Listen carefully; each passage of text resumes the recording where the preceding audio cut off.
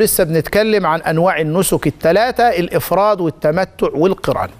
بينت لكم قبل الفاصل التمتع. هيجي يعمل عمرة هيطوف يسعى يحلق يقصر يتحلل يوم 8 يلبس الإحرام يطلع على التروية أو يطلع على عرفة مباشرة عليه تاني طواف وسعي للحج. يبقى المتمتع هيطوف ويسعى للعمرة ويطوف ويسعى للحج. المفرد هيطوف ويسعى أول ما يجي طواف القدوم مع سعي الحج. وبعدين وبعدين يظل على إحرامه إلى أن يذهب إلى عرفة وينزل من عرفة المزدلفة ويرمي جمرة العقبة الكبرى. بعد كده يطوف طواف الإفاضة وليس عليه سعي لأنه سعى مرة واحدة. المفرد عليه سعي واحد. القارن اللي هو القران بقى هيجي يطوف بالكعبة المشرفة ويسعى بالكعبة المشرفة. الطواف الأولاني اسمه القدوم والسعي اسمه سعي الحج ركن لأن السعي لا يكون إلا بعد طواف. طب وبعدين؟ هيطلع على منى وعلى عرفة وبعدين يبيت بمزدلفة ويرمي جمرة العقبة الكبرى وبقي عليه طواف الإفاضة وليس عليه سعي. أقول تاني وأوضح المتمتع عليه طواف للعمرة وسعي للعمرة وطواف للحج وسعي للحج. المفرد عليه طواف للقدوم وسعي واحد. إما يعمل السعي مع طواف القدوم أو يأخر السعي مع طواف الإفاضة. القارن عليه سعي واحد يجي يعمل طواف القدوم ويسعى سعي الحج وبعد كده يجي يعمل طواف الإفاضة وإن كان سعى فليس عليه سعي آخر. طب يا عم الشيخ جيت متأخر يوم عرفة. دخلت مكة يوم عرفة وما عنديش وقت أطوف طواف القدوم. بإحرامك على عرفة. وتنزل من عرفة تطوف وتسعى. طيب جاي متمتع والوقت دخل عليا. جاي إيه؟ جاي متمتع والوقت دخل عليا.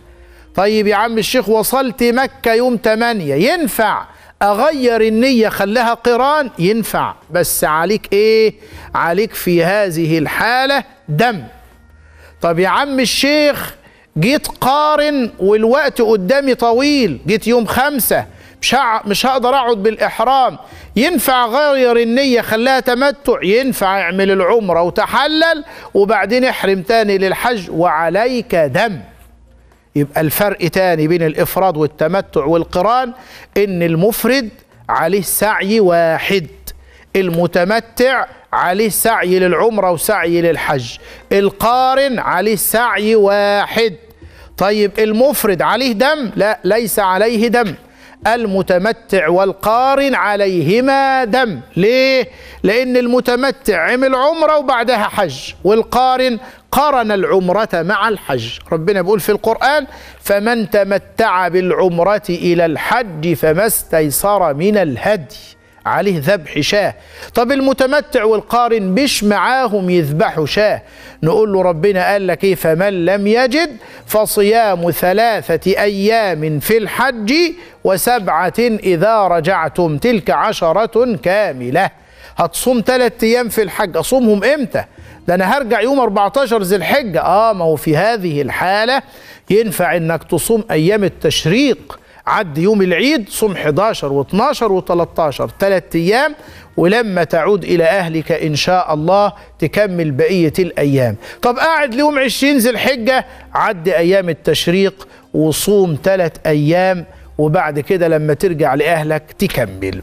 هذا فرق بين الإفراد والتمتع والقران. بينته لحضراتكم وبعد كده إن شاء الله هنفصل بقى أركان الحج أعمل إيه في الحج؟